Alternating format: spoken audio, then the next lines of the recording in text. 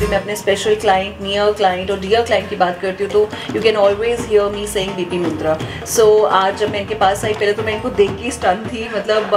जब भी मैं इनको देखती हूँ तो मुझे ऐसा लगता है कि एज या फिर टाइम चलता ही नहीं है, वहीं पर रुक जाता है।